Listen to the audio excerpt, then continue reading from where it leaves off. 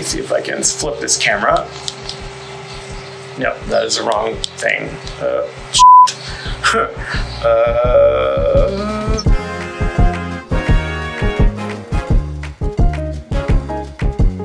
Hey, I'm Rick and welcome to Sweet Heat. And today I'm gonna make you something that actually I've been missing and craving for a while now.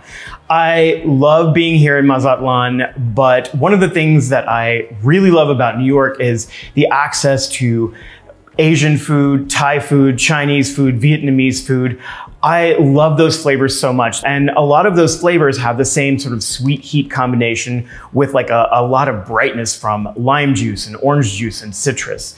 And one of the things that I miss most is there's this, uh, there's this place in Hell's Kitchen called Wondee Siam they make this crispy duck salad that I have literally been eating for probably about 15 years. It's this duck that's been kind of fried, almost like a chicharron, but uh, duck. And it's paired with pineapple, onions, Thai chilies, lime juice, fish sauce. It's so, so good. I am actually going to attempt to recreate this dish for you today. As always, uh, don't forget to like and subscribe so that you can follow all my little recipes adventures here in Mazatlan. And what else do I need to say? Let's get cooking. All right, great, let's go. The sweet and the heat in this dish are from a couple of things. Um, so the first thing is I have to talk about a little bit about this pineapple because it's really incredible. This is called a piña de miel um, or pineapple of syrup it's super, super sweet. It's really incredible. They're a little more common in the southern part of the country. So I'm gonna use this today. So that means that I might not need to add any sugar to this, but in the recipe, I've written uh, or I've included palm sugar, which is actually pretty common in Thailand and Thai cooking. I'm only including the sugar if your pineapple isn't that sweet, which probably if you're in the States, if you're using an off-season pineapple, um, you know, it's probably not gonna be too super sweet. So you probably will have to have, add a little sugar. The heat in this dish, uh, normally if I was doing this in New York or if I was actually at Wondee Siam, they would be using Thai chilies, maybe a serrano pepper, uh, you know, depending on where you are. But I found these really beautiful green chili de árbol, um, which I really like a lot. They're super hot, but they're not, um, the red chili de árbol are a little bit sweeter because they've actually been allowed to ripen on the vine. These, because they're green, are gonna be a little bit grassier, which I think is gonna pair nicely with everything else. I also have a little bit of heat from the red onion, which is like pretty aggressive. And then I'm also using um, a green Granny Smith apple just for like tartness and flavor. And honestly, like these are all the same things that exist in the, the salad at Wondee Siam. So it's not like I'm riffing or changing anything. I'm trying to get as close to it as I possibly can here in Mazatlan. Okay,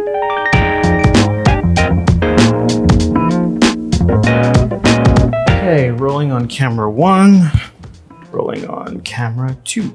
Okay, so the first part of the recipe, I'm gonna work on the onions. I feel like the red onions in particular are very aggressive. When you eat them in a raw preparation, they can pretty much overpower a dish. So what I normally do is I let it soak in salted water for, you know, you can five, 10 minutes, 30 minutes, um, and it'll uh, pull out some of the really, really harsh flavors out of the onion, but it'll still leave it nice and crisp. And so that's what I'm gonna do first. I'm using half of a red onion, two cups of water, and two teaspoons of kosher salt.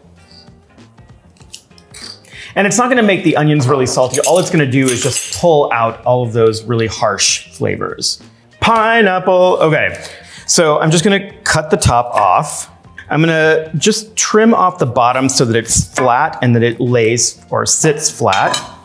And then I'm just gonna run my knife down the edges and just take off the skin, which is obviously not pleasant to eat. It's so fragrant. It actually smells like like if a pineapple was a flower, which I guess it was, but um, that's what it smells like. It's just really, really incredibly fragrant. I'm only gonna use a quarter of this, although since this one is a small, I may, I may add a little more because I just like pineapple. The way that I normally deal with pineapple is I cut them in quarters lengthwise, and then this core is pretty inedible. It's kind of tough and very fibrous. So I just run my knife down the center and then just take it all out. That to me is the easiest way to do it. And I'm gonna give this a little taste. And I'm just cutting this into smallish pieces. Mmm, that was really good. I think I may end up adding a little bit of sugar. It's not quite as sweet as I would like it. But then again, I really like sweet things. And I'm really sad because Misael um, woke up this morning and was probably having like a little allergy attack with like sniffles, but you know, because of the time we live in, um, it's probably not a great idea for us to shoot together. So anyway, I'm going to save him some of the salad. I will probably take it to him later today, but yeah, so I'm shooting on my own. But um, I'll see you soon, Misael. Miss you. All right, so I have a green apple, Granny Smith. It works really well with this dish. Also, apple and duck just really goes well together. And to be honest, I actually did try and find duck here and I was unsuccessful, but I ended up buying um, a chicken and I have a rotisserie on my grill and I use that. I'm pretty obsessed with this thing because it's so incredible and it, it has been such a game changer for me in terms of chicken.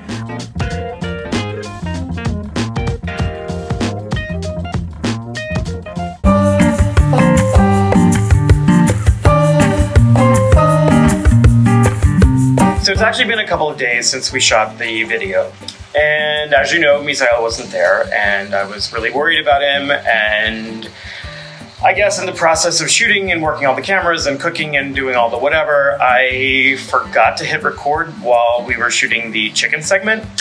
So I am back and I'm making another rotisserie chicken, which actually I'm not really mad at. Um, and I'm going to shred it on camera so that there is some consistency. Also, I want to show you this incredible rotisserie chicken, which I'm obsessed with. So this is my rotisserie attachment on my grill. I'm going to reveal to you my amazingly delicious chicken. Oh yeah, baby. Look at that literally obsessed. So good, so flavorful, so delicious. Okay, um, so I'm actually all alone in my house now, but I have this amazing chicken and it smells delicious. So um, I'm not gonna make this salad again. I'm actually just gonna have chicken tacos, but I'm gonna show you what I did. I'm going to save the skin. So you'll see later on the video, I make chicharrones using the skin and Oh, so good. Now just cut the meat along the breastbone.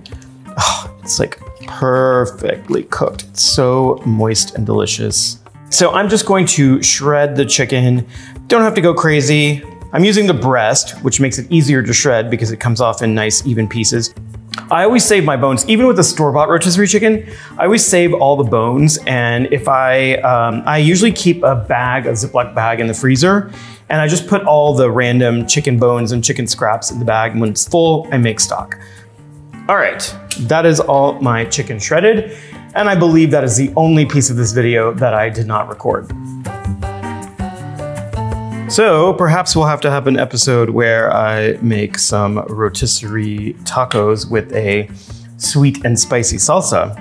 I can't believe that I am shooting a video for Thai salad and I made this for lunch because I made a big mistake and forgot to record the chicken. Anyway, whatever. Um, yeah, so this will be a future episode. You'll see this taco again. Mm.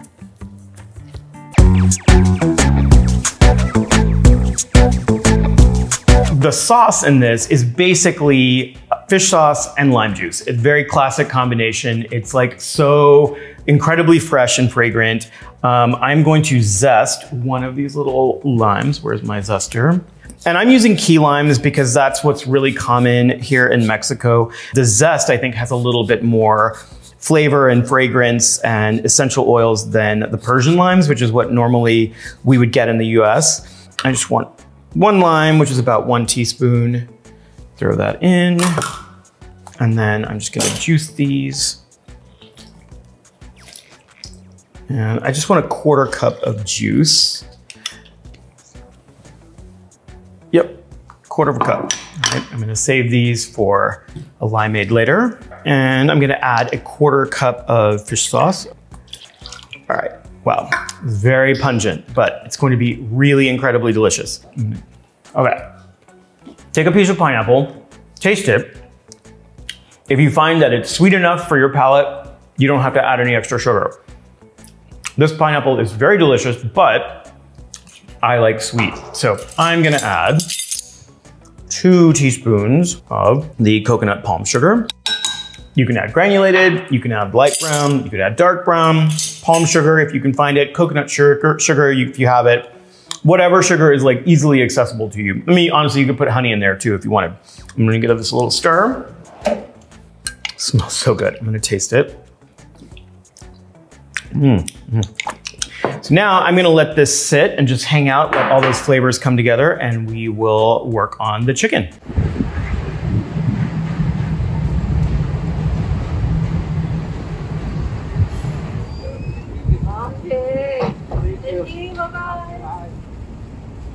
the first thing that we're gonna do is we're gonna toast the nuts. So I'm using cashews and peanuts. I'm using half a cup of each. If you didn't wanna do this step, know, not a big deal. Um, but I just think it adds so much more flavor to the dish.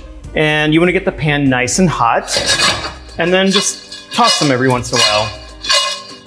It'll just take a few minutes. To me, this is a really simple salad, but like, and with not a lot of ingredients, but I wanna treat each ingredient and make sure that I just pull as much flavor as I can out of every single element.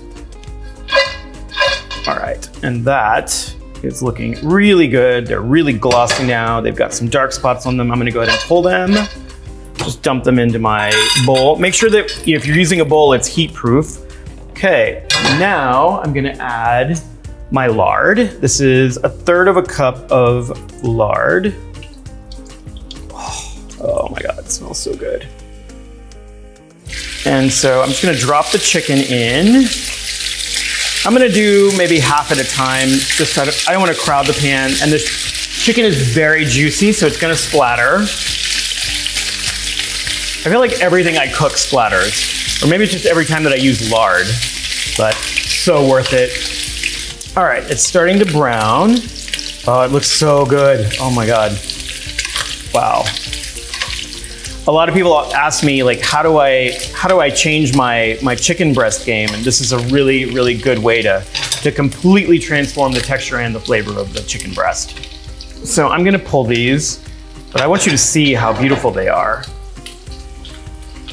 Either use tongs or a slotted spoon and just pull all the chicken I'm putting it onto a paper towel lined sheet tray. That'll absorb any of the excess oil. I don't want this to be a heavy dish. I don't want you to feel like you're gonna, you know, it, it's a salad at the end of the day, right? Like I wanna feel good about eating this. I just want that really nice, flavorful, crispy outside. Okay, so I've left most of, the oil in the pan and I'm gonna cook the rest of the chicken. Mm chicken is making me really hungry. So I'm going to have a little snack. Mm -hmm. Oh, so good. That is looking really good. I'm done with this. One last step. Going to make the chicharrones. I have my skin and I'm just gonna try and lay it out as flat as possible.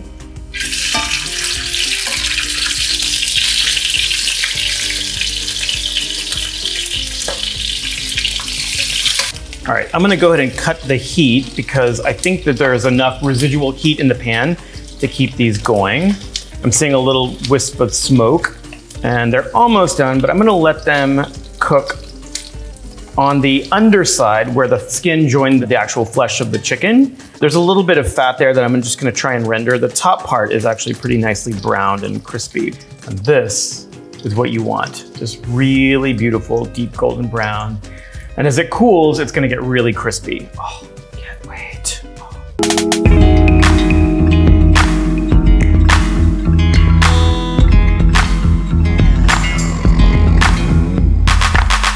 to assemble the salad. But first, I have a couple of other veggies I'm gonna prep. I'm using scallion, or in this case, actually, scallion are not very common where I am. So I'm using what we have, which is uh, chambray onions, or it's probably more like a small spring onion. And I'm just going to thinly slice them. And I have a giant bowl. And this is going to be, everything just goes into a giant bowl. All right, and now my chiles. Okay, so depending on what you're using, if you have Thai chilies, probably just one because they are pretty intense, unless you like heat, and then, you know, as many as you want. Um, the arbola's here are actually kind of mild. I'm not exactly certain why. It's probably a different variety that grows in this area. Um, so I'm gonna add three and we'll see what happens. And then I have some cilantro, some really beautiful cilantro. Um, I'm not gonna chop it. I'm actually just going to pull it off because it's really pretty and I like, I love using herbs in salads because I think, you know, they're just as much a green as a lettuce and there's no need to chop it. They have such a pretty shape. That's another thing that I love about this dish is that, you know, there's so many different shapes and colors and textures and flavors. So this is about a, a cup uh, packed, but I like, you know, just use as much as you have, use as much as you want. All right, and then what else? Okay, we're gonna put the pineapple in. all of that pineapple. Everything else is just like dump and stir. Apple. I drained the apple and the onion. Oh, it's so pretty. Oh my God, look at that. Oh, so pretty. And then the nuts and the chicken. Actually, I'm gonna pull the chicharron and I'll break those up before I serve. Put all the chicken in. And then just gonna give this a little stir. I'm gonna taste it again. Oh, wow. That's um, pretty intense, but it's really good. I'm gonna add a little bit more sugar just to kind of balance it out. The, um, the palm sugar is not quite as sweet as regular sugar, so you might have to add a little bit more. This is, I probably added the equivalent of a tablespoon of, spoon of granulated sugar. I put four teaspoons of the palm sugar in there. But okay. Now I'm just gonna drizzle everything over.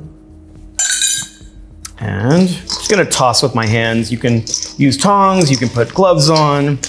Oh my God, wow. I just got this overwhelming sense of sitting in Wondee Siam and having this salad hit the table all the smells are the same. It looks just like the salad that I'm used to. Oh my God.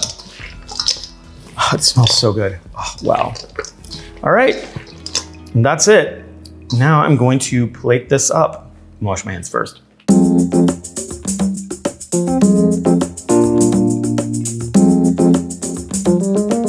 I'm so excited. Okay, almost time to eat. I'm probably about 30 seconds away, so I'm gonna just kind of rush through this. I'm gonna get the give the chicharron a little bit of a chop. You can hear how crunchy they are. I'm super excited about that.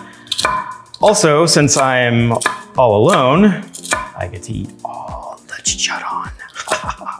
Actually, I'm gonna save some for Misael. I'm gonna take him some salad today and hopefully that will make him feel better. He was really upset this morning uh, that he couldn't be here. And I was really upset too because he's my friend and it's fun to hang out with him. Um, okay, that is ready. Okay, so I've got my beautiful plate. I'm going to, I'm just gonna line it with a little bit of lettuce. Um, it's what they do in the restaurant. Not really sure why, but it's very pretty and it catches a lot of the, uh, the juices, which is really nice. And, and then we're just going to layer the salad on top. Oh, oh my God. Wow. All right, Faki, I'm gonna show you what this looks like and you can tell me how close I got to the salad that you had. Although the difference is gonna be that I'm gonna put a little chicharron on mine, so sorry, Faki. You're missing out. Hey, Rick. Yes, I did. I drove all the way up there And I got the salad you asked me for to get it. This uh, salad is actually accompanied by some white jasmine rice. Let me get a spoon. Um, and it's really nice because as the salad sits, you're gonna start to like get a lot of the juices that come out and this is a really good way to catch all of the juices. Get some beautiful fluffy rice. Oh my God, this is really, I have to admit, I kind of impressed myself. This is a very, very beautiful salad. That is my tribute to the amazing salads of Wondee Siam that I have literally eaten for probably the past 18 years. Oh, so excited. Okay, Faki, so how did I do? Did I get close? It's almost the same. almost, yeah. Maybe if it was like snowing out the back, then yeah. Okay. So um, I'm getting a little bit of pineapple, onions, and let's get some duck here. Um, oh, oh, it's spicy. the pineapple is so good. Oh, just want to have this. It's sweet, heat, and heat. Heat and sweet. All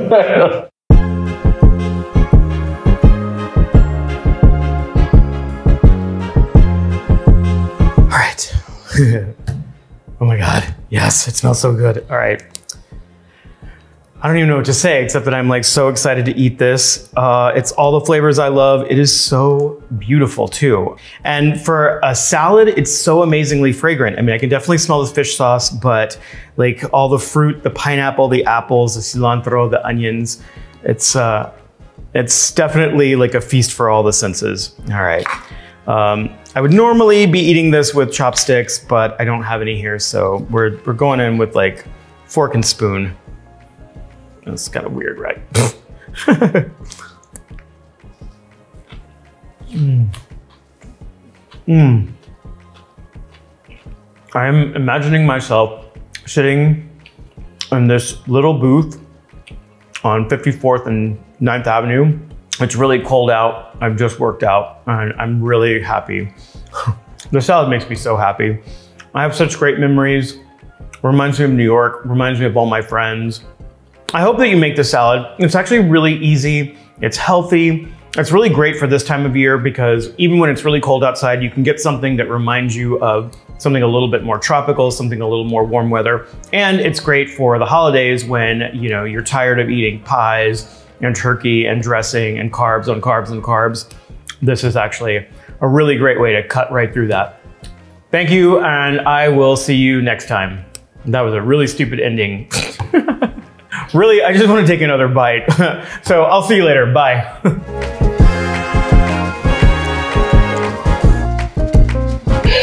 You did the way we do too. oh, damn it. What? It, oh.